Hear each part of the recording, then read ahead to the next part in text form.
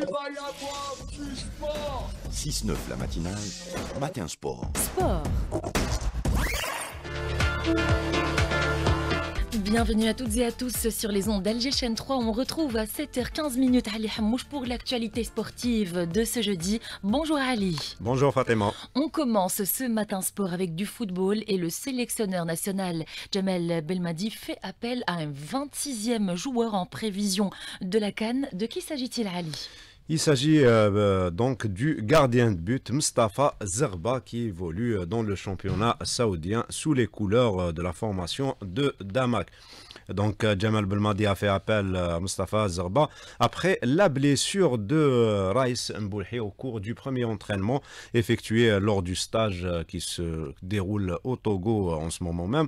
Donc pour ne pas prendre le moindre risque, le, le sélectionneur national a fait appel à Mustafa Zarba. Alors que beaucoup peut-être attendaient un 26e joueur de champ, notamment après la défection de Guiri à la toute dernière minute juste avant le départ de la sélection nationale pour le Togo. Guiri qui souffre d'une blessure euh, au niveau du genou. Donc Mustafa Zerba sera le 26e joueur qui représentera la sélection nationale lors de la Coupe d'Afrique des Nations en Côte d'Ivoire. Et on rappellera que les sélections nationales qui prendront part à cette compétition ont envoyé hier, puisque c'était la date limite, euh, leur liste définitive des joueurs retenus pour cette compétition. Et en attendant la sélection nationale poursuit sa formation au Togo, Ali. La sélection nationale euh, qui poursuit euh, sa préparation en prévision de la Cannes au Togo. Et hier, euh, la sélection nationale a effectué son quatrième entraînement. C'était à partir de 17h30 au niveau du stade de Kégué à Lomé. Et donc, le matin a été consacré à une séance vidéo, plus une séance au niveau du gym, au niveau de l'hôtel.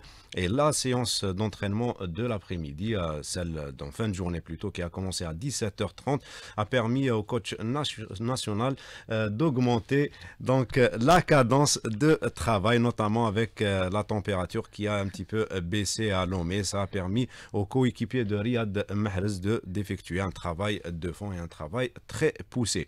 Et juste avant la séance, il y avait une rencontre avec une zone mixte où plusieurs joueurs se sont présentés devant la presse présente sur place à Lomé pour suivre euh, ce stage de la sélection, la sélection nationale, l'image de Amoura Bel'id Shaibi. Et Laroussi, euh, on va écouter justement le joueur euh, Yasser Laroussi qui évoque notamment sa concurrence sur le côté gauche de la défense avec son coéquipier Ryan Eitnouri.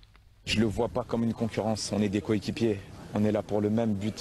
Du coup, pour moi, c'est différent, on est là pour le même objectif. Moi, ça me fait plaisir d'être là, c'est ma première canne. Je suis content de pouvoir y participer. Inch'Allah, on donnera le maximum pour, euh, pour le peuple et représenter le pays. Même si j'avais eu autant de temps de jeu que je voudrais, ça reste quand même une, opportunité en or parce que ça reste la canne. Et faire une canne avec son pays, ça n'a pas, pas de prix. C'était donc euh, Yasser euh, Laroussi, le défenseur de la sélection nationale et euh, l'équipe nationale donc qui jouera demain son premier match de préparation prévision de la Cannes. Ça sera face à la sélection locale du Togo. Ça sera à partir de 21h heure algérienne et ça se jouera à Lomé. L'international algérien Youssef Hattal connaît désormais la sentence prononcée à son encontre par le tribunal de Nice, une sentence injuste, permettez-moi de le dire, Ali Hamouche. Absolument, c'est le moins qu'on puisse dire, euh, une sentence injuste à l'égard de l'international euh, Youssef Attal qui écope de 8 mois de prison avec sursis et une amende de 45 000 euros. Euh, cela, une condamnation qui vient juste juste après que l'international algérien ait exprimé son soutien à la cause palestinienne après les bombardements de à l'égard de la bande de Reza. Youssef Attal, donc, euh, qui est actuellement en stage avec la mhm. sélection nationale, ça lui permet un petit peu d'évacuer, de rester loin de ce problème. Donc, euh, Youssef Attal, qui se trouve donc au Togo avec l'équipe nationale, qui disputera la Coupe d'Afrique des Nations.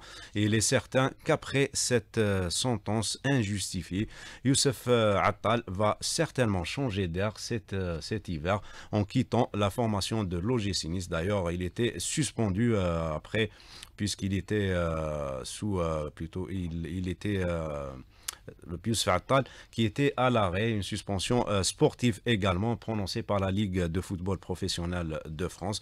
Donc, ça sera certainement la dernière année de Youssef Fatal sous les couleurs de l'OGC Nice. La Ligue de football professionnel dévoile le nouveau programme du championnat. Il s'agit, Fatima, du reste des rencontres de la phase aller ainsi que les matchs en retard. Il y aura tout d'abord entente de sétif Shabab de Belouizdad. Ça sera le mardi 9 janvier pour le compte de la mise à jour de la 9e journée. La 13e journée du championnat, ça sera le 12, 13 et 14 janvier avec à l'affiche, à l'affiche pardon, ce match Shabab Belouizdad, Mouloudia d'Alger. Et la 14e journée se jouera le vendredi 19e journée alors que la 15e et dernière journée de la phase aller est programmée pour le 26 et 27 janvier et elle sera marquée par le derby de l'Est entre l'entente de Sétif et le CS Constantine. Et en attendant Fatima, demain, il y aura cette douzième journée du championnat avec euh, plusieurs matchs demain au programme. US Souf qui accueillera le Parado Athletic Club, le NC Magra face à l'entente de Sétif, le S Benaknoun qui jouera face au Moudia Doran, l'ISO euh, Schlef qui recevra l'USM Alger, le CS Constantine qui sera face à l'US Biskra et la JS Saoura qui accueillera l'USM Khenchla. Et enfin, le classico du championnat algérien entre le Moudia d'Alger et la JS Kabylie. Ça sera à partir de 18h au stade du 5 juillet. Une seule rencontre a été reportée. Il s'agit du Moudia d'Albayat qui devait recevoir, recevoir le Shabab de Blouzdad. Cette bonne nouvelle, Ali, pour les supporters du Mouloudia d'Oran, le stade Miloud Hatfi rouvrira bientôt euh, ses portes, n'est-ce pas? En effet, Fatima, le Mouloudia d'Oran rejouera au stade Miloud Hadfi dès son prochain match programmé à domicile. Ça sera face au CS Constantine le 11 janvier pour le compte de la 13e journée. Euh, c'est ce qu'a annoncé le premier responsable du complexe euh, sportif Miloud Hadfi, Abdelkader Menazli. Les travaux de rénovation de la pelouse du stade Miloud Hadfi d'Oran touchent donc à leur fin, une opération qualifiée de réussite en dépit des conditions climatiques très difficiles marquées par le verglas qui a quelque peu empêché l'herbe de pousser dans les délais prévus. La fermeture du stade de Miloud Hadfi avait euh, contraint le Mouloudia d'Oran à disputer deux de ses derniers matchs à domicile au stade Ahmed Zabana d'Oran. Football, mais cette fois-ci à l'étranger, à Hamouche et précisément en Europe. Il y a eu euh, hier suite de la 19e journée de la Liga en Espagne avec quatre matchs qui étaient au programme avec euh, ce, match euh, spectaculaire entre Gérone et l'Atlético Madrid. Il y a eu 7 buts inscrits. La victoire est revenue à Gérone, 4 buts à 3. Et Gérone, donc, euh, qui c'est la grosse surprise du euh, championnat espagnol. Gérone qui occupe actuellement la deuxième place au classement, juste derrière le Real Madrid. Le Real Madrid, justement, qui s'est imposé difficilement face à Mallorca un but à zéro. Le Celta Vigo a battu le Betis Séville 2 buts à 1 et Grenade euh, qui s'est imposé face à Cadiz 2 buts à 0. Et aujourd'hui, il y aura trois matchs euh, au programme en Espagne. Osasuna qui recevra Almeria, Séville qui sera face à l'Athletic Bilbao et enfin le FC Barcelone qui se déplacera à Las Palmas. Le FC Barcelone euh, qui vise une victoire qui lui permettra de monter sur le podium et de dépasser l'Atlético Madrid. Et en Italie, il y a eu hier les huitièmes de finale de la Coupe d'Italie avec euh, l'Atalanta Bergame qui s'est imposé face à Sassuolo 3 buts à 1 et l'AS Rome euh, qui a battu Cremonese 2 buts à 1 et on connaît pratiquement le tableau des quarts de finale avec cette affiche, euh, ce derby de Rome entre la Lazio de Rome et l'AS Rome. L'AC Milan qui recevra l'Atalanta, la Fiorentina qui sera face à Bologne et Frosinone qui affrontera aujourd'hui plutôt le vainqueur du match entre la Juventus et le Salernitana. Ça sera aujourd'hui à 21h. Et enfin, en, en France, il y a eu euh, hier euh, le trophée des champions et le Paris Saint-Germain qui a remporté ce trophée, euh, ce trophée qui met aux prises Fatima le champion en titre face au vainqueur de la Coupe. Le Paris Saint-Germain s'est imposé face à Toulouse au Parc des Princes, 2 buts à 0. Le Paris Saint-Germain euh, qui s'est adjugé ainsi son 12e trophée des champions et son premier trophée de la saison. Allez, on va parler tennis à présent. Cette grosse euh, surprise, mais plutôt une mauvaise nouvelle pour ceux qui aiment Novak Djokovic. Il a subi sa première défaite depuis 4 années. Mais il faut s'y attendre, hein On peut gagner comme on peut perdre. C'était un petit peu euh, prévisible, mais parce que euh, juste que Novak euh, Djokovic souffrait d'une blessure au niveau du poignet. Donc c'est une blessure qui l'a handicapé lors de cette rencontre face à Alex Minor, l'Australien, qui remporte sa victoire face à Novak Djokovic 2-7 à 0, 6-4, 6-4 en quart de finale de la United Cup.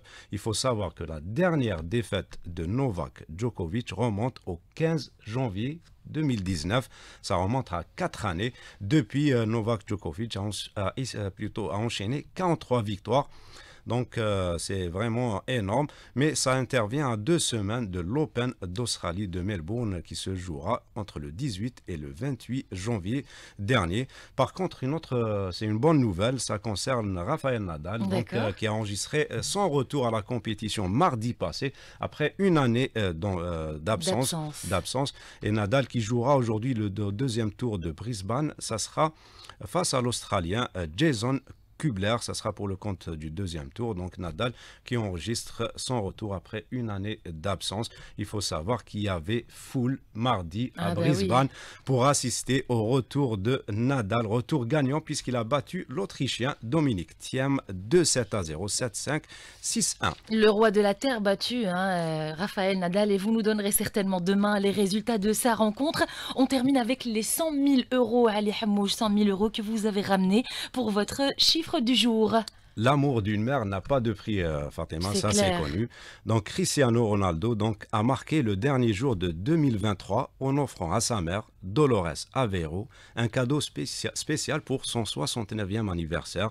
Le Portugais a fait le déplacement de l'Arabie Saoudite jusqu'à sa ville natale de Madère, où sa mère réside toujours, pour célébrer ce moment avec elle. Vous attendez le chiffre. Donc le geste ne s'est pas arrêté là, car il a décidé de lui offrir la toute nouvelle Porsche Cayenne, un cadeau estimé à 100 000 euros. Il faut savoir que la maman de Ronaldo, euh, donc, qui a eu du mal à retenir euh, ses larmes lorsqu'elle a découvert le cadeau qui lui a été destiné. Donc euh, la voiture était enveloppée d'un énorme ruban rouge noué avec un joli, joli nœud. Et euh, Cristiano qui était à l'intérieur du garage pour suivre cette, cette scène émouvante. Et Dolores Aveiro qui a toujours soutenu son fils tout au long de sa carrière euh, sportive, que ce soit lors des bons moments ou lors de ses victoires. Et c'est pas la première que- fois que Cristiano Ronaldo offre une voiture, voiture à sa mère. C'était en 2020. Il lui avait offert une euh, Mercedes qui valait également 100 000 euros.